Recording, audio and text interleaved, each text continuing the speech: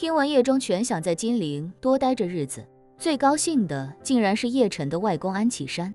他不禁笑道：“叶老兄，你干脆就住在家里，家里还有空房间，住在一起，咱们也能没事喝喝酒、叙叙旧、唠唠家常。”叶中全道：“安老弟，我就不住在家里了，太打扰，不如住到白金汉宫更方便。你要是想喝酒、叙旧、唠家常，我再随时过来，路途不算远，交通也方便。”安启山还想劝他，叶晨则直接开口道：“爷爷，香榭丽这些半山别墅，我之前都让老陈回购过来了，除了隔壁那套我偶尔会用之外，其他全都空着。”我让洪武安排人给您准备一套出来，正好洪武大部分时间都在山下，我让他过来照顾一下您的起居。如果您想住到市里，就让洪武直接送您过去。叶中全笑着说道：“好，好，好，这样更方便。既然明天的发布会就在白金汉宫，那我今晚就住到白金汉宫去，等发布会结束之后再搬过来。这环境不错，比燕京清静多了。”晨儿，你让洪武帮我开个车就好，不用照顾我的起居。我现在身体状况很好，一个人住就可以。一旁的安启山不由问他：叶老兄这次来金陵，怎么没带一两个孩子在身边照顾？叶庄全看了看叶晨，随后对安启山说道：不怕说出来让诸位笑话。之前万龙殿杀上叶灵山的那次，叶家子嗣里除了晨儿，没一个有骨气的。一个个尽是贪生怕死的孬种。后来陈儿收服了万破军，就让他们有一个算一个，全都住叶灵山，给叶家老祖宗守孝去了。安启山惊掉下巴，脱口道：“全去了。”对，叶庄全讪笑一声，儿子、女儿、孙子，还有那些姓叶的外戚，都去了。除了女儿被陈儿特许照顾我在燕京的饮食起居之外，其他人没有陈儿的允许。三年内不得离开叶灵山。安启山瞪大眼睛，下意识地看了叶晨一眼，见叶晨满脸淡然，仿佛说的事情跟他一点关系也没有，便又试探性地问叶中全：“叶老兄，这么多人在叶灵山，叶家的业务应该会受到不小的影响吧？”听到安启山的问题，叶中全尴尬地笑道：“丢人就丢人在这里了。这帮人把业务交出来之后，就按陈儿的意思。”都交给了专业的职业经理人负责，对这些职业经理人有严格的业绩考核以及奖惩标准。结果是原有的业务规模以及利润率反而不断上涨，成本也降低不少。别看那些职业经理人薪资也很高，但比起叶家给自己人的薪资福利，那是低得多了，等于是既降了本又增了效。所以那帮人在叶灵山待着也挺好。安启山没想到是这么个回答，无奈的笑了笑。说道：“有些时候，对自己人也确实疏于管理和约束，这也是很多家族面临的顽疾。”叶中全笑道：“我后来也想明白了，自家人没这个能力，就让他们直接坐享其成就好，不必留在原本的岗位尸位素餐，而是把岗位让给有能力的人，而他们也只需要牺牲一部分的分红比例出来就好。如果有能力的人能把收入基数做得更高，他们不用做事。”反而可以赚得更多。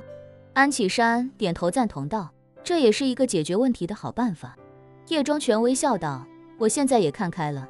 叶家现在虽然还比不上安家这等规模，但也早已经让所有叶家人以及叶家的外戚骨干实现了财务自由。他们手里的钱只要好好打理，一辈子锦衣玉食不在话下。所以现在的叶家也不需要为他们背负任何过多的责任和负担。”说着。他看向叶晨，非常认真地说道：“晨儿，今日叶家的所有资产，都是你将来对抗破清会的经费，你只管放手去干。即便哪天叶家资产消耗殆尽，也无需向任何人负责，更无需有任何心理负担。”叶晨轻轻点了点头。虽说他现在不需要动用叶家的任何资源，但老爷子能这么说，他心里还是难免感动。外公安启山也不由得感慨道：“晨儿。”我的态度与你爷爷一样，安家的一切资源也都任你取用调遣。一顿家宴，众人推杯换盏，两位打破多年隔阂的老人都愈发开心。只是有时话题会不由自主地聊到叶晨的父母，两位老人便又时常眼眶通红。叶晨的心里是欣慰的，毕竟这意味着两家人以后不会再有任何矛盾与间隙。父母生前感情一直非常好，在天之灵若是看到两位老人冰释前嫌，心中也一定为之喜悦。酒足饭饱，叶中全又与叶晨的外公外婆聊了许久，才有些抱歉的起身告辞。叶晨找来洪武开车，先将叶忠全送到了白金汉宫，之后自己才回到家中。明日的发布会定在下午。上午，两位老人以及叶晨的三个舅舅，还要与度蜜月回来的贺远江夫妇碰面，梳理一下发布会的流程和发布内容纲要，以确保下午的发布会能够万无一失。夜里，叶晨久久无法入睡，听着身边萧初然的呼吸频率平缓又安静，便知道他已经睡着。而叶晨心里还在想着外婆跟自己说过的话，虽说他还从未想过要个孩子。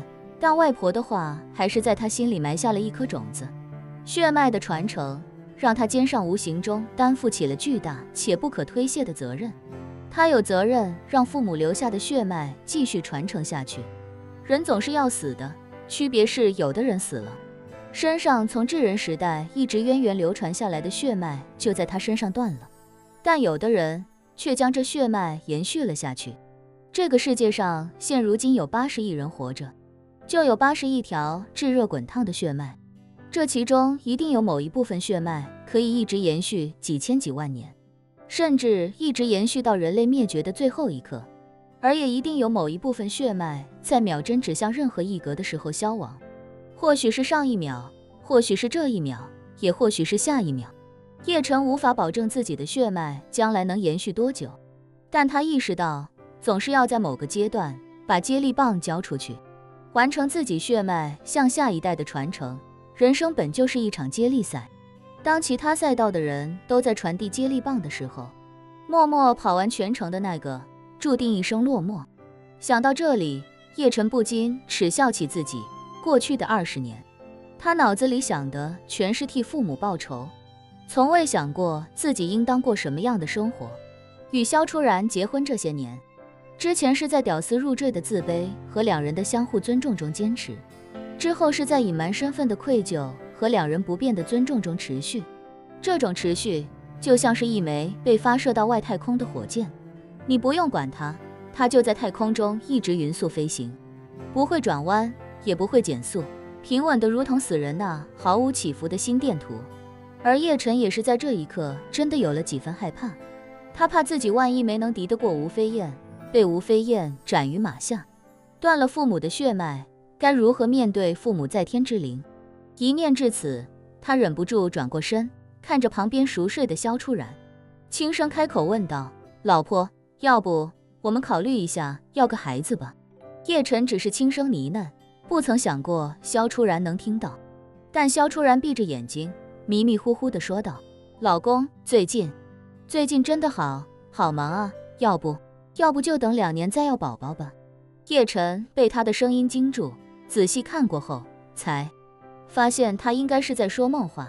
有时人在梦中难分梦境现实，如果梦里刚好梦到某人，某人又在现实中在他耳边问他话，他就会直接带入到梦境里，然后稀里糊涂的回答。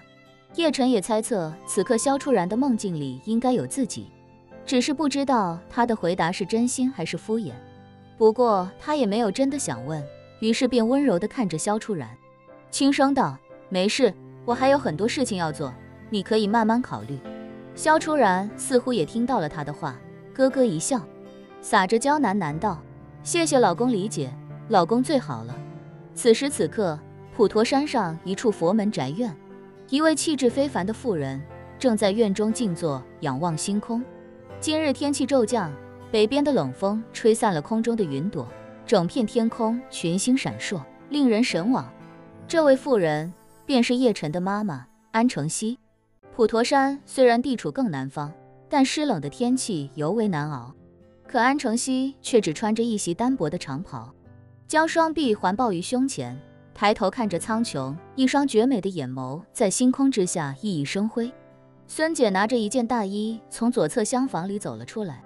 将大衣披在了安承西的肩上，开口道：“夫人，太晚了，您该休息了。”安承西眼眶莹润晶莹，眼眶中波光粼粼的，是噙在其中的热泪。他没有让眼泪流下来，而是微笑着说道：“孙姐，我公公今日与我父母见面了，晨儿也在，想来他们应该是冰释前嫌了。”孙姐点点头，又恭敬又心疼地说道：“夫人，您父亲恨了您公公这么多年，如今也终于相互理解了，这对他和您公公来说都是好事。若他哪天他们知道您还活着，肯定会更开心。”安承熙摇摇头。长叹一声，轻声呢喃道：“不一样的，我父母固然会无比开心，我公公他或许会更落寞才是。毕竟长英再也回不来了，而他原本还有我爸妈这两个一样白发人送黑发人，一样同命相连的人。我一旦回去，他就变成唯一的那个了。这对他一个年近耄耋的老人来说，太残酷。”